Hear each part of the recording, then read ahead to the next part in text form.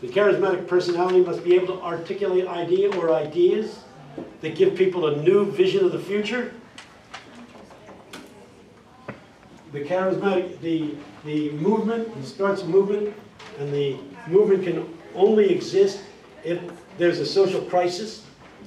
And here Marx and Weber come together, because almost every social crisis is an economic crisis. And I'm going to explain to you why Marx says an economic crisis is inevitable. No matter what you do, you're going to have an economic crisis. But let me just say at this point, the fourth element of Weber is this. The increasing tendency to rationalization. Let me repeat that. The increasing tendency to rationalization.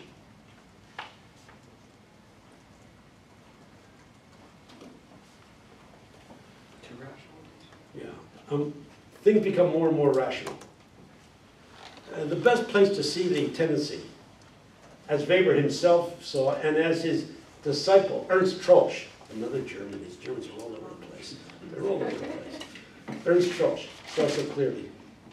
The best place to see rationalization is in religion.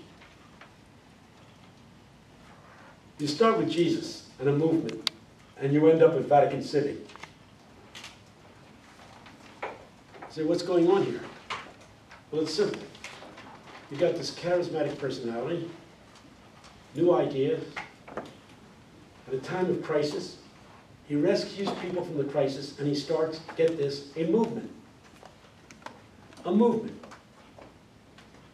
But movements are all over the place. Movements are marked with emotion. Movements are built around a charismatic personality. Movements are built around a charismatic personality. I said that twice. Let me say it a third time. Movements are built around a charismatic personality. Sooner or later, the charismatic personality dies. Now what do we do? The movement is really grown. Well, we have to organize. We have to elect a new leader. Right? Well, the, who, who elected the charismatic personality that started? Who elected Jesus? They said, by what right do you, do you teach? Where's your ordination certificate? Where's your authority? Come from the Father. Comes from beyond. Okay, he's dead now. You got to create, you now have a movement, and the movement is only going to survive if we organize it. Movements have no structure, no organization. What people believe is what the charismatic personality tells them to believe. That's it. Now you got a problem. And the early church faced that problem, did they not? They were all over the place. If you know anything about the history of Christianity, there are like 24 different gospels that were written. You know, Elaine Pagels up at Princeton University is becoming famous digging up these old uh, uh, gospels from uh, Hammurabi in northern Egypt in 1948. They discovered this, all of these, uh, the Gospel of Peter, the Gospel by the Virgin Mary, the, I mean, Gospel after Gospel. And they had, went through a real hard time saying, well, how did they, uh, who decided which Gospels are going to be accepted and which are not? The answer, when you boil it down to the final line, is the Emperor Constantine did. At the Council of Nicaea, he says, these are the Gospels. He said, what about the others? Burn them. Anybody that has them, we'll put them to death. That got rid of them pretty quickly. Except that some monks evidently had enough sense to bury these things in the ground, and uh, now they've been recovered, and great scholarship into what the early church was like. It was all over the place. And there was a need to do what? To organize it, to give it some order, some structure. Uh, who can preach, who can not preach? What is it that we really believe? There are all kinds of heresies. The two biggest ones were the Arian controversy and the Athanasian controversy. Uh, whether Jesus was uh, God or whether Jesus was just a creation of God, as the Jehovah Witnesses would have said, you see. Uh, they are really in the Arian tradition. Uh, they lived at the time of Arius, they probably would have said, we have no need for a new movement. We, Arius is our man. Uh, and the Council of Nicaea was brought together to resolve the differences between the Arian beliefs and the Athanasian beliefs. And in the end, uh, once again, it was Constantine banging on the table, yelling, it's going to be Athanasius. Do we understand each other? What do you say if the emperor's at the head of the table? Especially that emperor. He wasn't a bad man, but he just was tired of all this confusion, all of this arguing going on. And so you have to bring some order to the thing. And then you've got to decide who can preach and who cannot preach. And you develop seminaries. Which, which seminary did the early apostles go to? None. But you begin to give a rational, you've got to have a more reasonable basis for establishing. So you establish seminaries and you have ordination and you test people.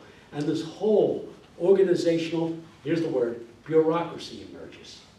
Max Weber is famous for his wonderful essays on bureaucracies. I am not going to here and now tell you all that he had to say about bureaucracies. That's a course in itself. But generally when somebody says, oh, it's nothing but a lot of bureaucracy, what they are really saying is the bureaucracy is not working well. A good bureaucracy works with total rational efficiency. Good words, rational efficiency. Now here's what Weber would say. Every movement over a period of time becomes rationalized into a bureaucracy. This increasing tendency to rationalization. You got a movement that's all emotional. The early Christian, earliest Christian creed, historians will tell you. Does anybody know the earliest Christian creed? Simple line. Jesus Christ is Lord. That's it. You say, wait a minute. You know, told me, is he very man, a very man, very God? Is he, is he God incarnate? What? He's Lord. All we know, he's up from the grave. He's in our lives. We've had an experience with him. He's controlling us. He's directing our steps. He's Lord of my life. That's what I believe. You know, but, but don't you have a theological explanation? No! I just know he's Lord of my life. And if you surrender to him, he will invade you, and he'll become the Lord of your life, and he'll direct your steps, and he will lead you in the paths of righteousness. Jeez. It's all emotion. But little by little, the emotion of the movement gives away to bureaucracy. The best example of this right now is the Methodist Church. I think, who was it that said she was Methodist? Or, yeah, Methodist. The Methodist Church, it, it, for years was called the Methodist Episcopal Church. Some churches still have, call themselves Methodist Episcopal. It was part of the Anglican Church. John Wesley was never a, a Methodist. He died as a priest in the Anglican Church. Truth. He started a movement. And the movement was all over the place. As I said, any Tom, Dick, or Harry could call himself a preacher. Here's a set of books, read them and go out and preach. And they were preaching all over the place and they were in converts left and right. And this movement was growing and getting bigger and bigger and bigger and bigger. It was pure emotion in the early days. Pentecostalism would not have existed if those people who are in the Pentecostal movement today were in the Methodist Church of John Wesley's time. I mean, it was spiritual energy all over the place. I mean, it was total excitement. The Anglican Church was scared to death because excitement is not what you want in an Anglican, worship service. It's beginning to creep in now.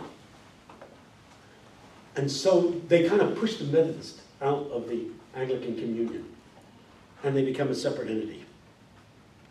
But over a period of time, the emotion dies down.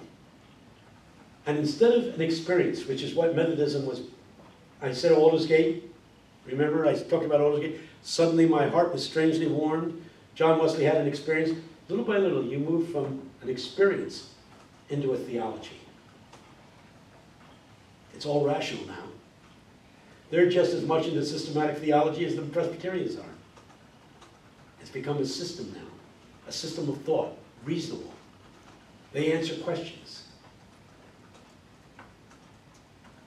But something dies in the process. Whenever you rationalize a movement, something dies in it. When I was at Penn, I had to teach the course in Introduction to Sociology. And in those days, interestingly enough, The sociology department was not part of the university, it was part of the Wharton School, which is the business school. Sociology in its earliest days was a product of economics. Economics figures out how things should happen, when people should buy things, sell things, etc. But they found that people were behaving in ways that didn't fit the formulas. There must be social forces at work. That's where sociology was born. What social forces are influencing behavior? Because people aren't operating reasonably when it comes to business all the time. For instance, fear determines whether or not the stock market goes up or down. You know, optimism in the society, it goes up. Pessimism, it goes down. So the question was raised. Uh, you know, here we are. Uh, we're, we're in this church and, and we got to become more organized, more rational. But it tends to keep. At the Wharton School, most of the students that I had were into business administration. They were Wharton. I mean, Wharton School's the most famous business school in the world. It draws people from all over the place to study business economics there. More than economics, business itself. So, just to be facetious, I uh, would have the students, as an example of the increasing tendency to rationalization, rationalization, to study the union movement, which is no longer a, union, a movement. Union, the unions are organizations now, with elected officers, and when they sit down to bargain with the heads of the companies, they're dressed in the same kind of suits as the corporate executives. They're all wearing dark suits with ties, and you can't tell the difference between them. It wasn't always that way. When my father came to this country, he belonged to the United Electricals Union, which was a communist union. It was driven out of existence in World War II. The first union movement was in fact a communist movement. The international workers of the world. They felt the only way, if only they had won, we wouldn't be in the mess that we're in today. The only way to, that there's going to be a good union movement is if every worker in a given industry belongs to the same union and gets the same wages. Whether the guy that's producing shirts in Philadelphia, India, China, are all paid the same wages you're going to have a problem. Because the capitalists will take the industries from where there is expensive labor and transport those industries to where there's cheap labor. The IWW saw that coming. And so it was, we're going to have a union movement, but it's going to be the international move, the IWW, International Workers of the World. We're all going to belong to the same union. We're all going to make sure that all workers get the same benefits. And think of what that would do right now if they had won. Mm. It would solve the problems we're now facing. We wouldn't have kids working in sweatshops in Thailand producing sneakers at a dollar a day so that Walmart can sell them at a bargain price for Americans. I mean, stop to think if every worker in the world in a given industry was paid the same salary, had the same benefits, health benefits, etc. International workers of the world. And it was a movement. It was going to unify the world. Man, I loved it. And they had great songs. Uh, IWW. Let's see, one of their songs. You may even have heard these songs. When the worker's inspiration through the worker's blood shall run, there shall be no power greater anywhere beneath the sun. Yet what feeble force is weaker than the feeble force of one? The union makes us strong. And the chorus was, Solidarity forever, solidarity forever. Listen to this. The capitalists get all the money, right? They get all the, you know, the people who produce nothing, who own the stock, make all the profits. Agreed? They don't produce anything, they get all the profits. Well, IWW was saying, no, that's wrong. The people who produce the stuff, they should get the profit, not the people who produce nothing. Well, stop to think about it. We have an economy in which people who produce money have all the money, get all the profits from production. Second verse of the old IWW song. They have taken millions from us that they never toiled to earn. Yet without our brain and muscle, not a single wheel would turn. They will break, we will break their haughty power. You're beginning to feel it now? The anger. We will break their haughty power. Earn our freedom while we learn. No, they're not just talking about higher pay here. They're talking about a whole different way of life. The union makes us strong. I mean, I went to the rallies when I was a little boy, when my father would have these union rallies, and they would sing, Solidarity. And these guys would be up on their feet. It's a revival meeting. Tears running down their cheeks singing, Solidarity forever. I mean, you can almost feel the emotion, can't you? The union makes us strong, the IWW. It was a movement, a movement around the world. They had great songs, great songs.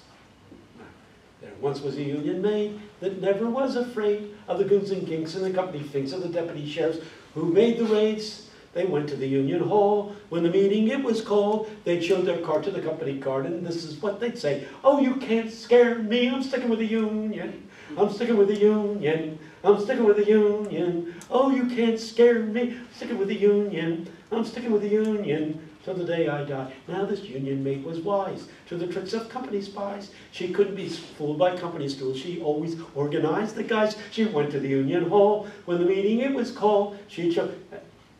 And they took old hymns because this was a religious movement. This was not a political movement. It was a religious movement. These people were talking about their dignity as workers. They were talking about being free from capitalistic oppression. And if you know anything about the early 1900s, it was oppression. These people were being shot at by Pinkerton detectives. You went on strike, they killed you. I mean, it, it, American history, you read the union movement, it was a movement in those days. You had to be heroic. And they had hymns about their, their, their heroes. I dreamed that I had died and gone to my reward. A job in heaven's textile plant on a golden boulevard.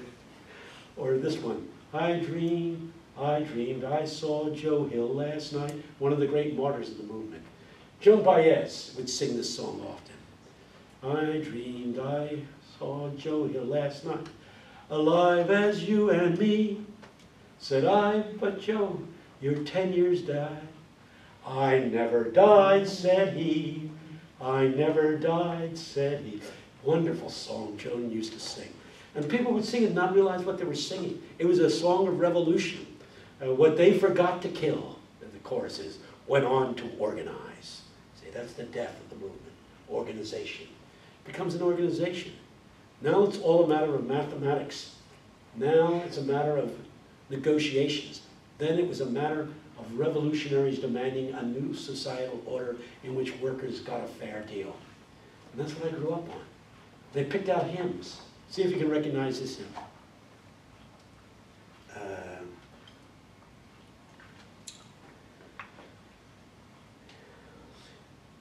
would you be, uh, well, not would you be free? She's I'm forgetting my union songs. I can't believe this is happening to me. Shows what happens over a period of time. You forget your union songs, and you get, the movement becomes an organization. Today, AFL-CIO is a, is a movement. Uh, uh, you know, uh, it, it's a strange world. All movements become organizations over a period of time. As the thing grows, it has to be organized. Even the book of Acts, you read the organization beginning to fall into place, do you not? And they say, if we're going to go forward with this thing, we, then we had to choose certain people to be deacons. And they note, they had standards for who could become a deacon. Uh, Paul actually spells out who can be a deacon, who can be a bishop. It's all spelled out. Here are your qualifications. What did Jesus say were the qualifications? Man, no qualifications at all. You got a tax collector here, a few ex-prostitutes following him around. You, you got a, a zealot who is a revolutionary, hunted by the government. Uh, you got, I mean, you got, it's a mess. A few fishermen. I mean, totally unqualified group of people. Totally unqualified. But they were imbued with the Spirit. And the spirituality created a movement. Organization kills spirituality. It'll be interesting 100 years from now to see what has happened to the Pentecostal movement.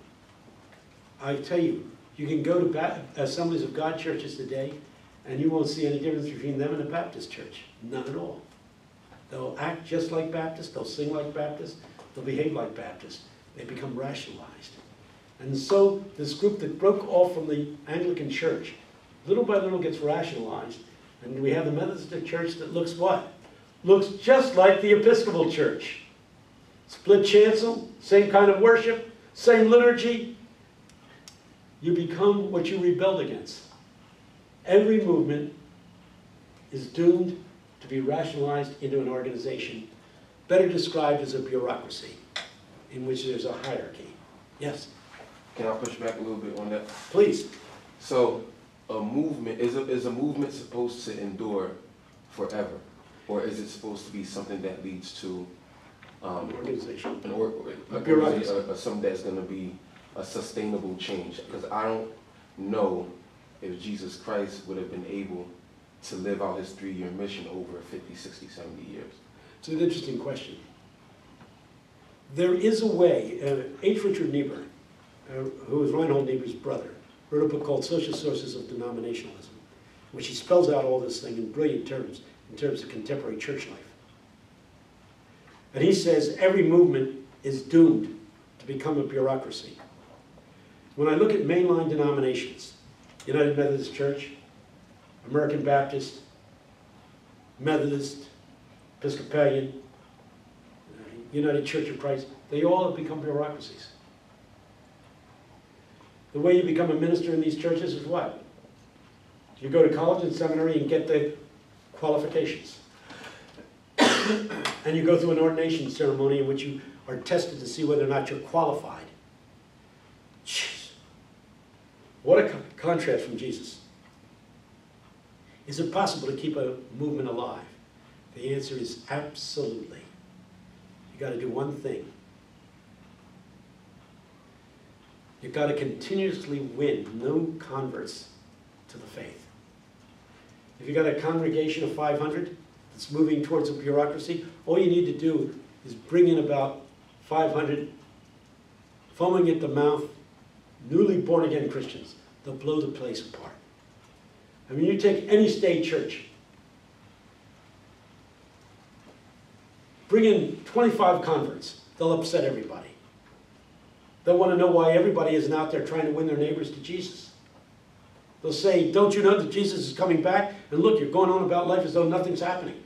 Don't you realize the days are evil? Let's get on the stick. Let's get out there and win the lost. Let's do something. What's the matter with this church? You people, of you don't even show up on Sunday morning. And two-thirds of this membership of this church, never, we never even see their faces. What's this church about? They're all upset, and they upset the minister. Because the minister's been trained to run a bureaucracy. That's what seminary does. They teach you how to run church organizations. It's an organization, it's not a movement anymore. How do you do it? You keep on bringing in new converts at a minute. Let me say some things. I'll take your question and then I'll Thank go you. on. What were you going to say? Oh, no, I was just gonna ask, but without organization, doesn't the movement theoretically fizzle? It's a good question. I would say what I would like to see is what I just suggested. A movement that is constantly revitalized by new converts coming in. I want to give you Troeltsch, who I mentioned just a moment ago. Troeltsch takes Weber and takes him one step further. He talks about the differentiation between what he calls a sect. A sect is a movement. A sect. And what he calls an ecclesia.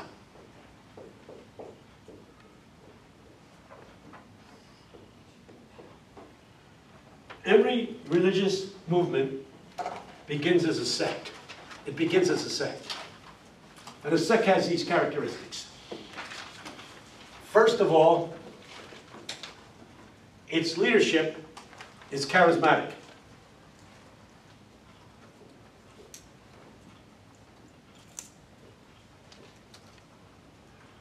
The leader seems to possess some special blessing, some special endowment, some, some special energy that comes from beyond himself. Whereas the ecclesia, as its leaders, have people who take their position for rational reasons. They've been to seminary, they've been properly trained, they have the education, educational qualification. The charismatic leader of a sect does not have academic credentials. He may have been through university, but it's irrelevant. Something's happened to him. He comes into the pulpit and he radiates the energy of God. This guy is going to be an academician. When you go to church, at his church, he's going to be a rational leader. That's a rational leader. You're going to get a religious lecture. You're going to say, really, I learned some interesting things today. That was a great sermon, Pastor. I really got a lot out of it. Charismatic church, they don't get anything out of church. They feel something. I belong to an African American church, and it's highly char- charismatic in this respect, even though it's Baptist. And when things really happen in our church, on the way out, you'll hear them say to the pastor, Hey, Pastor, we had church today. Note that statement, we had church. Church was an event. Sometimes it happens, sometimes it doesn't. Sometimes you go and you have a service and it's deader than a doornail. Other times, the energy of God just explodes in the place. And these people come out of church with big smiles on their face. We had church today, man. Did you feel the Spirit moving? Yeah, I did. That was great. That was great. Oh, man, that was moving. And, and you see, uh, my pastor, who was just retired, was there for 50-some years, was brilliant because he was a perfect combination between the two. A very sophisticated uh, academic. Graduated from Union Theological Seminary, which at the time was the most advanced theological seminary in America. And he started off with a very low voice. I'm going to expound the third verse of this, the 12th verse of the uh, 14th chapter of John. And he begins reading very slowly. If you go to a good black church, watch my, face. I wish you could go and see my face, because you knew when it was coming. He would be reading, and it would be a very brilliant, well-articulated sermon. And people going, yes, yes, yes. And at one point, he would put his hands on his hips. He'd say, Lord, Lord! And he'd start walking up and down, and people start clapping, and you begin to feel the whole place break loose. And from then on, you're having church. The lecture is over. I gave you some information. Now it's time to go on to what's really important, the experiencing of the Holy Spirit. Very different type of experience. It's a combination of the two. So when I went to church, I would always get good stuff that I could take notes on, and then I could put the notebook away because it was time to explode and to cheer and to clap and, and to stand up and, and yell, keep preaching, man, keep going, baby, keep going, you know, things go on. Uh, the, uh, so you got two types of leaders, rational, charismatic. Second thing that differentiates. The churches are, the worship services are informal. A good, our church at its best. The service would start at a particular point, but you never knew where it was going to end. It Might go on for two hours, it might go on for three hours, who knows? You know, as long as the Spirit's moving, we're going to stay together. Man, you go to a Presbyterian church, they say, well, uh, we will, we will expect the service to end, your preaching to end at, uh, at uh, uh, 11, uh, 11.50, and then we will have the closing hymn and the benediction. And the service will end at 12. It's all structured. The worship service is structured. The sectarian group, it's totally spontaneous. You don't know what's going to happen because you don't know what the Spirit's going to do. Another thing, all the members of a sect group are converts. An ecclesia. All the members of ecclesia were socialized into the religion. That means they're in the faith because their parents were in the faith. Why are you a Baptist? My mother and father were Baptist. And why were they Baptist? Because their mother and father were Baptist. Is there a difference between somebody who's reared in a church, reared in a religion, from when he was a little kid, to somebody who's converted into a religion? When you deal with converts, you're dealing with excitement. When you deal, most of you have grown up in churches, which means you're a tough group to preach to. Man, you get a bunch of converts together. Wow. Wow. I can't handle it too often, but every once in a while I get invited, to the Creation Festival in central Pennsylvania. There's about like 40,000 people, most of whom are druggies and who knows what else. Man, you start preaching there, it's on fire. It's on fire. It's easy going. Uh, you know, uh, I'll tell you where I saw a little bit of this. That very famous speech that Martin Luther King gave. I have a dream.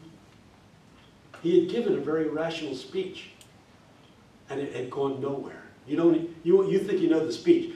No. This. It was after the speech that what you know was uttered. He went through the speech. It was a very brilliant, rational articulation of why a civil rights bill is important. And he came to the end. And who was it that was singing that day? Uh, uh, Mahalia Jackson, sitting right behind her. And she started yelling at him. If, if you get a recording of it, you'll hear her yelling back as he's coming to the end. He's, Cut it. Cut it out. Tell him about the dream, my Martin. Tell him about the dream. Tell him about the dream. Tell him about the dream. You'll hear this over and over again. And there he goes. And I have a dream. God. The whole thing shifted. There's the difference between the rational articulation of a good civil rights program and there's no policy in I have a dream. It's just emotion. I see black and white children holding hands together. I see this happen. I see it. It's pure emotion. But my God, what starts a movement? A rational lecture on civil rights and the justification of maintaining obedience to the Constitution?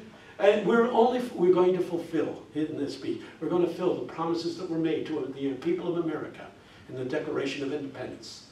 We hold these truths to be self-evident. Man, when he moves into the I have a dream bit, you move from a rational ecclesiastical leader. And he sounds like a, a rational ecclesiastical leader. He's suddenly become what? A charismatic sectarian. And by the time he finishes, he has electrified the crowd. That's a sect movement. That's a sect movement. And the black movement is dead right now. Civil rights movement is dead. It's no longer a movement. It's an organization now. You have civil rights organizations all over the place. But you're too young to remember the movement days we sang the songs. The only song you remember is We Shall Overcome. There were hundreds of songs. Oh, they were great songs. Uh, you know, uh, they just, just got us singing. On our bus trips, on our parades, we sang these songs and they were part of the movements. Uh, you can't find me, you don't, don't look for me in the back of the bus. I won't be sitting there. Look for me in the front of the bus. I'll be sitting up there. I'll be sitting up there. I'll be sitting up there. I'll be sitting up there. Oh, we, they didn't make much sense, but they got our emotions going. Uh, the, um, uh, oh, freedom, oh, freedom. We don't even sing that song. Oh, freedom over me. And before I'll be a slave, I'll be buried in my grave and go home to my Lord and be free. No more jailhouse, no more jailhouse, no more jailhouse over me. You had to be with African American people in Alabama who had been in the jailhouse, singing it with their tears running down their cheeks, singing, and before I'll be a slave, I'll be buried in my grave and go home to my Lord and be free. And then they get really political. No more Wallace. No more Wallace. No more Wallace over me. And before I'll be a slave, I'll... And we sang these songs and the movement had vitality and energy. And now all I see are these people screaming on the streets. You know what they need down there? You know what they need in Ferguson? They need songs. All they do is generate anger. And the people are getting angrier and angrier. And they're tearing down buildings and they're smashing windows. And they're hurting the cause because anger doesn't achieve it. Inspiration achieves it. We need the songs that would tap into the deep recesses of people's hearts and minds and souls and start a movement in which you got people not screaming but crying and to see the tears rolling down people's face because they're hungry for freedom. That's what we, I gotta tell you, when I see these guys throwing bricks through windows, I'm not sympathetic. They don't create empathy for me. They don't, they don't create empathy for me. And when that preacher, they gave that preacher on television yesterday, jeez, Sunday the service, and I can still hear it, saying something that had nothing to do with Christianity. Mm-hmm. We want vengeance! Whoa! And I for, they forgot that the Bible says what? This is a preacher. Vengeance is mine, saith the Lord. I take care of that. Vengeance is mine. I say, love your enemies. That Martin Luther King would not have said, we want vengeance. I can still hear Martin Luther King saying in Philadelphia when we were parading for, for Girard College to be integrated. Uh, you can come and you can beat us, but we will love you. You can arrest us, but we will love you. You can spit on us, but we can love you. Well, you know, and we're yelling at the end, we will love you, we will love you, we will love you. What do the police do when you got about 4,000 people yelling, we will love you at them? They don't come with clubs. They don't know what to do. I know what to do with somebody who says, I want to kill you and I hate you. I, I mean, the cop knows what to do with that person, doesn't he? Club them. What do you do when you've got people yelling, we will love you? That's what King had us yelling. To those who came with the police, we will love you, we will love you, we will love you. Jeez. Holy mackerel. All the difference between a movement and a, a rational bureaucracy and an organizational. Converts. One other thing about the sectarian group. A sectarian group rejects this world. Rejects this world. Is this world into it being a consumeristic society? They reject it. The old fundamentalists, when, it, when fundamentalism was a movement, we had songs like this. This world is not my home. Um, this world is not my home. I'm just a passing through. My treasures are laid up somewhere beyond the blue, you know. I'd rather have Jesus than silver or gold. I'd rather have him than riches untold. Oh, man, what a contradiction of America. Jeez. And that movement got lost somewhere along the line. And it's time for renewal. It's time for renewal. And the only way to renew a dead movement, according to the sociologists, is to go out and win hundreds and hundreds and hundreds of new converts. I'll tell you who are alive. Have any of you had any contact with the young men and women out of uh, Teen Challenge? Okay. How many have had any contact with you? You know what I'm talking about. These guys were the alcoholics, the prostitutes, the drug addicts, the alcohol. I mean, these were the these were the scum of society. When they get converted, oh my goodness, there is such energy, there is such vitality, there's such aliveness. You're saying, so this is what the early church was like.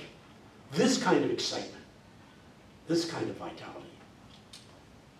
So, you know, you, want to, you know, people always say, we want a revival.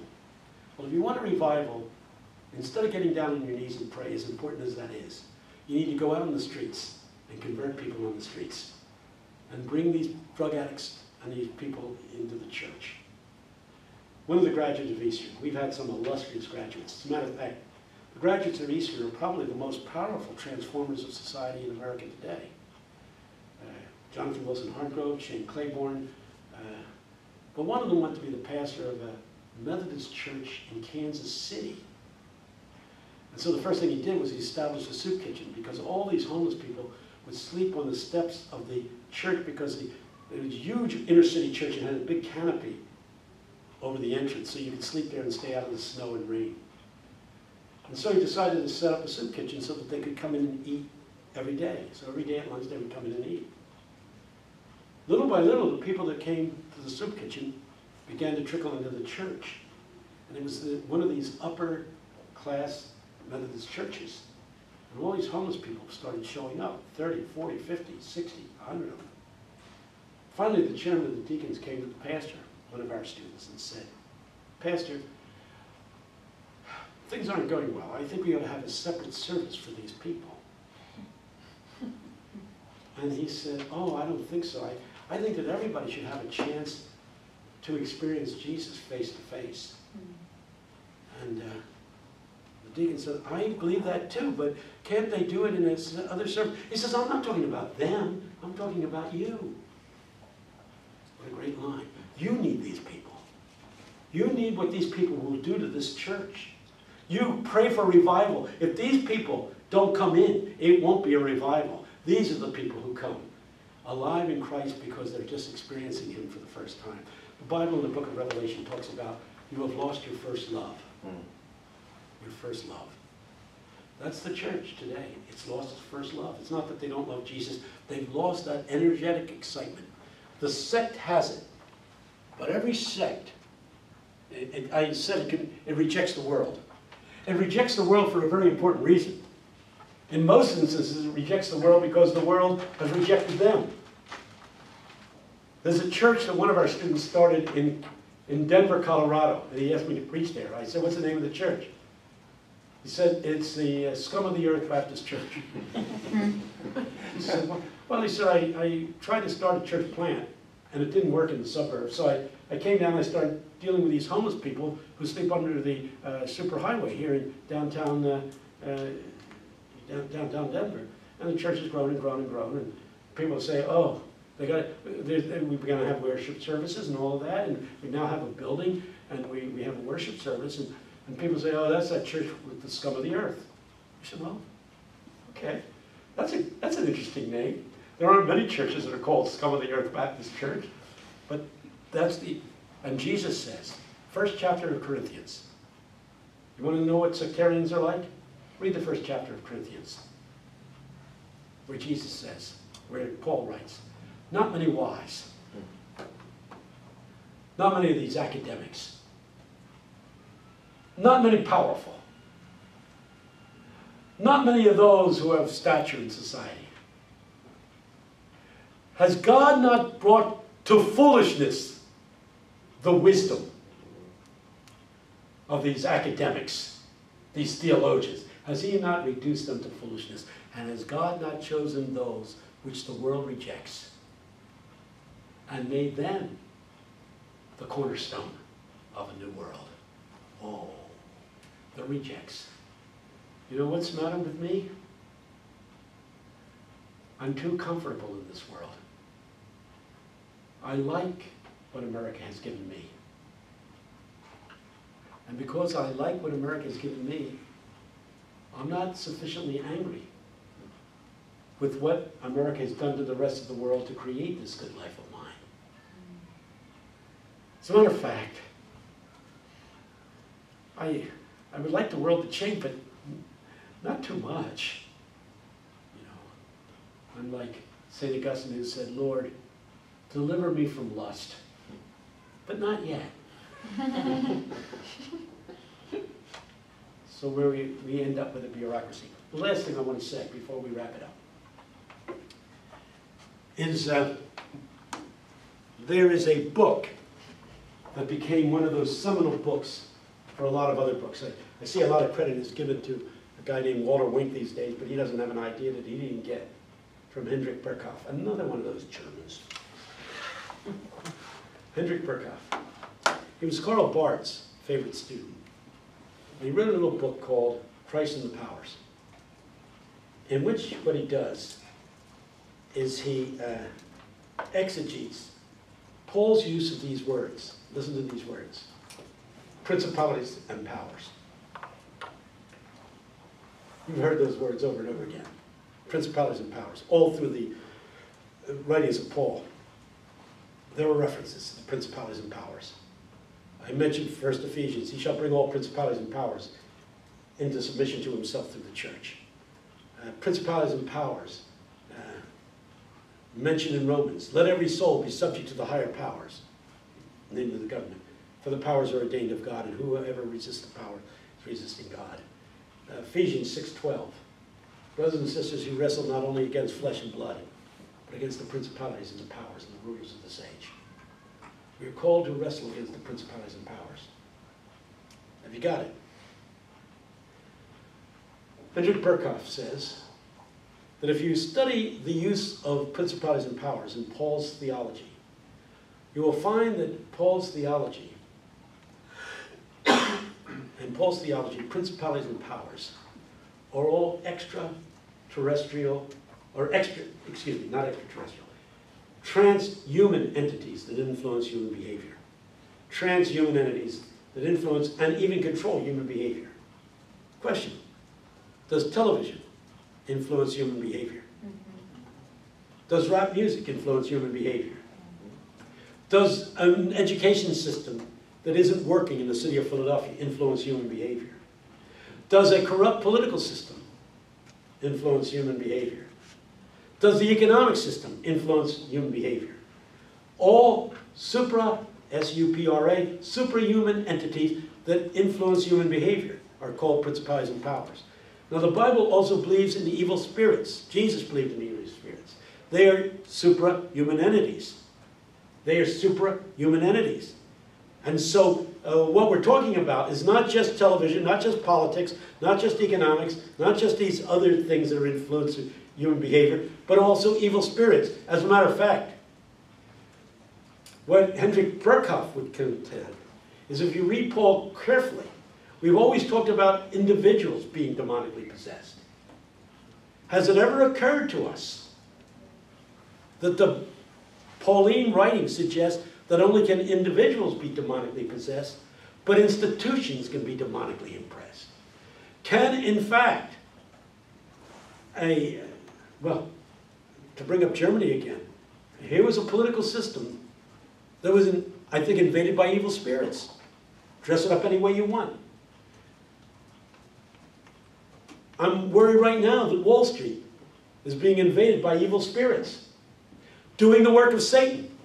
Satan sends his evil spirits to invade not only individuals, but invade the principalities and powers, that, that they all might in fact work against the interests of God.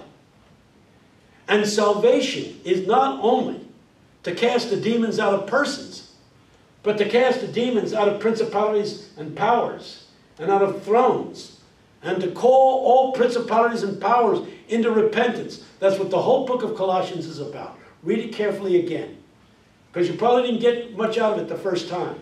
But if you read principalities and powers as social institutions, thus the imperative to become Christian is to become part of a revolutionary movement that wants to attack the demonic in all the principalities and powers that are operative within our society. Last thing in 10 minutes. I wrote a book uh, about a lot of this called A Revolution and Renewal. It's about 15 years old now. It was basically about the city. But all this stuff about principalities and powers and all the other stuff is in there. But in it, I make a great case, as I make, as I consider a case, for why the church should be able to do something about it all. Talcott Parsons, T-A-L-C-O-T-T, if you took sociology, you would know that name. For years, he was the Dean of American Sociology. Talcott Parsons talks about in any societal system, there is what we call a lead institution. I was contending right now in America, the economic structures, the corporations of America are the lead institutions. They determine what happens in society. There was a time when the political system did. What is the lead institution? That institution which really controls the direction of society. There is little question that if you read the New Testament, the church is supposed to be the lead institution. It's supposed to be the driving force that determines the direction that society takes into the future. That's what we're supposed to make it. That's why I'm committed to the church. Now, when we talk about transforming society, if we take the Marxist analysis correctly, we have to deal with economic forces. When I look at North Philadelphia, and I read about drug addiction, when I read about poverty, when I read about crime, all of these things in one way or another are related to poverty. Related to poverty. Um, David Brockman, who just walked in, to give the invitation to accept economic development, gave me an article, and it's about, written by Charles Murray. uh, about a book written by Charles Murray, in which he points out that in the black community, one of the serious problems, and a Democrat, a liberal Democrat named Daniel Moynihan saw it uh, a couple of gen- generations ago, that the whole collapse of the African-American family is a major cause of poverty. And poverty is a major cause of almost every ill that exists in those communities. The breakdown of the family. And you're not going to, Moynihan said it, so it's not some right-wing conservative like Charles Murray saying it. It's Moynihan, a left-wing liberal Democrat saying, you're not going to be able to solve the problems of drug addiction, crime. You're not going to be able to solve uh, the problems of premarital pregnancy. You're not going to be able to solve the problem of, of violence in the home. You're not going to, unless you solve the problem of poverty. And poverty will not be solved unless you put the family back together again. And then Charles Murray makes the point as he traces what, ha- what's the difference between uh, people who are African American who have strong families and people who have no families at all. But, you know, people screw around, a child by this woman, child by that woman. Uh, you have kids growing up in single parent homes. And every sociological study will say those children will grow up in the context of poverty. And if you grow up in the context of poverty, the probability that you're going to be a criminal is exceptionally high. And if you drop out of school before you complete high school, which is likely to happen, if you come from a dysfunctional factor, you can go on and trace problem after problem back to this family situation. And uh, nobody wants to attack it because it sounds like you're a racist when you're saying, you know, if you don't have a, a mother and a father in the household, chances are you, the children are going to end up poor. You know, we, we don't believe that. You're, you're attacking uh, African American community. We have learned to be comfortable with single parent homes. You may be comfortable, but if you're comfortable with single parent homes, says Charles Murray, you've got to be comfortable with poverty. And if you're comfortable with poverty, you've got to be comfortable with, uh, with prostitution. you've got to be comfortable with drug addiction, with alcoholism, with violence on the streets. You've got to be comfortable with all these things because they all are related to a disintegrated family structure. And when you have Camden, New Jersey, which is largely African American and Hispanic, and find that last year 94% of all the children born in Camden were born out of wedlock. What do you think the future of Camden is going to look like? What, you- what is it going to look like with 94% of the children growing up in single parent homes, in poverty? And poverty is rampant over there. Drive through Camden, you'll see it everywhere you turn. Point being, we got to eliminate poverty. Now, may I point out that one of the reasons why families disintegrate, and this is why it's circular in its argument, is that men lose jobs. Uh, there's a very famous study done about 30 years ago called Tally's Corner, in which it analyzed these African American men that hung out on the street corner and had no sense of responsibility to their families. And when they were analyzed on a deeper level, they wanted to have loyalty to their families. They wanted to be with the woman. They wanted to be with the children.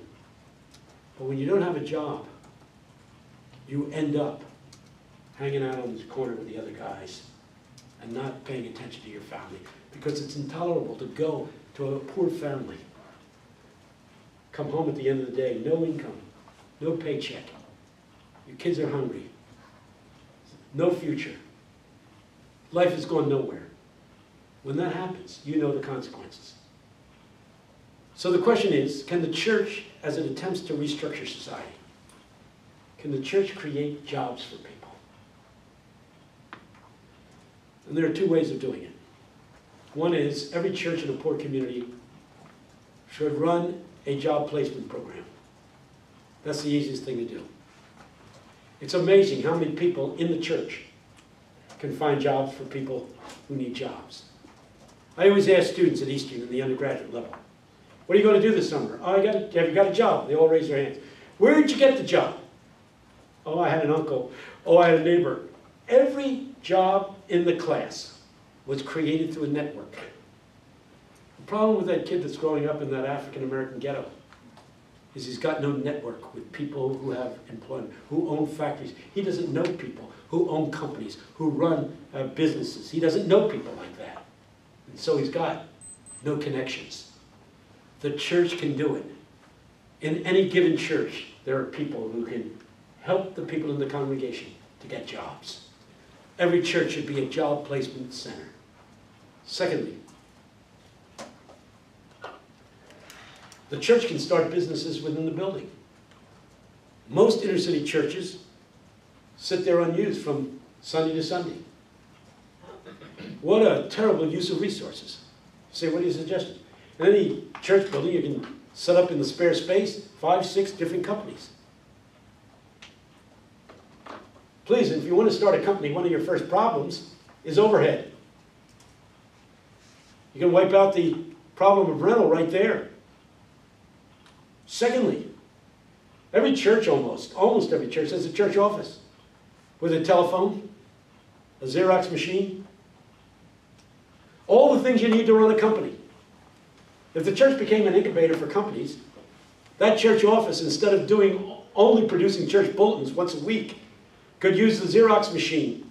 to do. Many churches in the inner city have a secretary who doesn't have much to do. She could be the secretary for three or four businesses growing up in the church. Imagine, just imagine, you start a moving business, which doesn't cost anything. You say, well, a truck, you rent the truck from U-Haul. You rent the truck. And you put the word out to other churches. If you plan to move, please contact First Baptist Church. We have some men who need the employment in the name of Jesus. Call that church. They'll sign you up. So if this phone rings, it's First Baptist Church. If this phone rings, it's Ace Moving Company. You've recruited 10, 10 men to form this moving company. And you go through the basic lessons of how to move things. And you, you advertise through the network of churches. The typical urban family moves once every three years. Stop to think about that. You're talking about meeting a need. There's a need. And most families, like 80, more than 80% of all the families, move to houses that are within five blocks of where they are presently living. So we're not talking about long distance moving. Do you see the potentialities here? This is what this course is supposed to do. It's going to enable you to market, to figure out wh what the need is, what we can sell, how to sell it. We're on our way. So you call Mace every time you got a moving job, you call, uh, you haul it, you rent a truck, you come over, the truck costs $40 for the day, you charge $1,000 for the move, uh, you got three people working on it, you divide $1,000, $1,000 three ways for the day, that's not a bad take. And so you go. And the church becomes the incubator for this moving business. You begin to see what we're dealing with here. A cleaning business, that'll work too. And you begin to start these businesses within the church using the church office as an office for each of these businesses. Now you get these people together and here's where the last thing needs to be said. I said earlier what I'd love to do is to have the people become Pentecostal in their early stages. See, there's something wrong with poor people. Herb Banfield up at Harvard University saw it early on. There's something wrong with them. Poverty reduces self-confidence. Poor people believe that they're losers. And if you think you're a loser, you're a loser. As Henry Ford said, if you think you can, you think you can, either way you're right. That the intellectual, moral vision of yourself has everything to do with it. Poor people feel themselves losers, feel themselves as the rejects of society, largely because of the Protestant work ethic operating here. If you're poor in Latin America, it doesn't have the same effect as if you're poor in the United States of America. So there you, for reasons I've already given you. So what you got to do is give this guy confidence that if he starts a new business, it's going to succeed. He has no confidence in himself. And if you take any book on entrepreneurship, the first thing it will say is an entrepreneur is a risk taker. Well, you don't take risks unless you're sure of yourself. You got to have self-confidence, and they have none.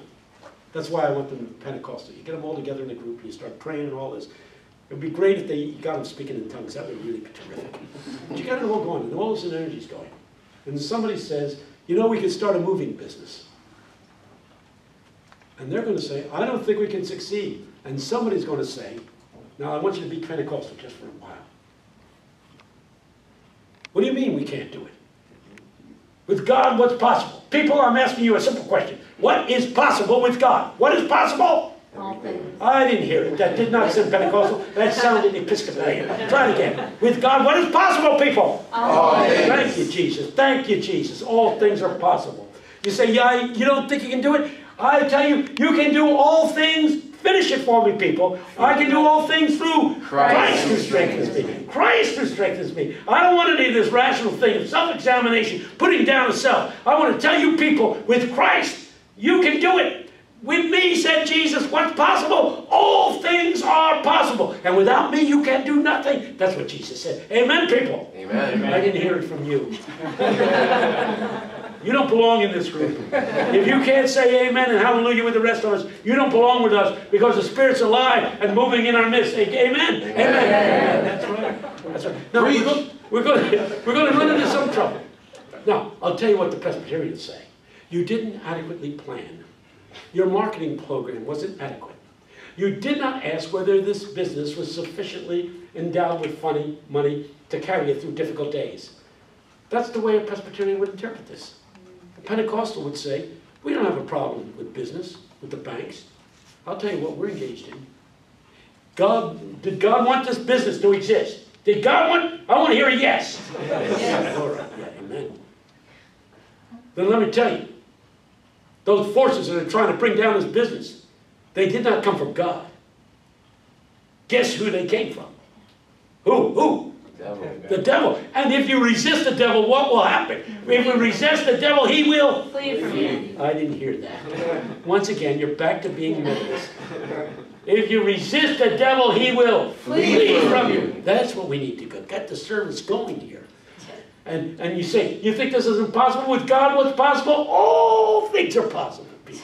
All things are possible. We're not engaged in a problem with a bank here or a stockholder there. I want to tell you what we're engaged in, people.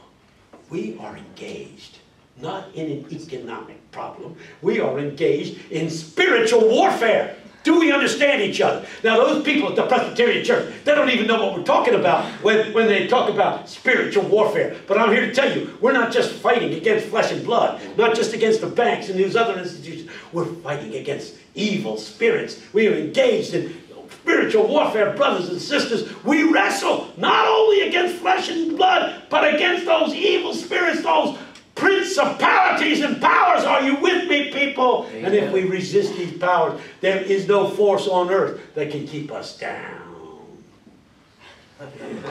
All of a sudden, people begin to believe that this thing can really work. Even though they feel like they're losers themselves. If God's in it, if God is for us, who can be against us? Can't you hear that? If God is for us, who can be against us, people? Nobody! You said we're going to run into a lot of trouble. The Lord said we would. In the world we will meet great tribulation. But the good news of the gospel is Jesus telling us what? I have what? Overcome. Now you didn't say that with enough. I have what? Overcome. Overcome the world. Amen. Now we're talking. All of a sudden, confidence is building up because they see that who they are and what they are is contingent on Jesus and their relationship with God. You see? Yeah, you got the plot. And they begin to believe in themselves. That's why faith-based programs with that kind of spirituality have a great chance of succeeding when without that kind of spirituality, they will not succeed very well. There has to be, and every sociologist will use these terms, there has to be a change of consciousness. We talk about consciousness raising, consciousness changing. Nothing does it like a good dose of the Holy Spirit. It'll change your consciousness. It'll, because if any person is in Christ, he is a what? New New A brand new creation. That's right. And what happens to the old things? Pass away. That's right. And what happens then? Everything becomes. Brand new. Amen. Now we're talking, people. Do you believe this stuff? Because if you believe this stuff, and I do believe it, I really do believe it, everything changes. Now, I said I wanted them to be Pentecostal because they'll never get off the ground if they're not Pentecostal, at least in this sense. But halfway in, I want them to change and become Calvinists. Because when they start making money, I don't want them to spend it on a party. And that's what poor people do, don't they? As soon as the money comes in, check the people who win the lottery. It's gone. I want them to be thrifty and to use that money wisely as under the Lord. And that's what a good Presbyterian does. He has a concept of stewardship. I have this money, I worked hard to get it, but it's not mine. It belongs to the Lord. And I must use this money, every penny of it, if he's a true Calvinist, exactly as the Lord would have me use it. And you put those ingredients together, plus all the great lessons in business and economics that you learn here, along with the theological overlay that you're going to pick up along the way. And you can be turned loose on the world, and you can change things. And today, and tomorrow, it may be Philadelphia. But after that, the world, people of God, rise up.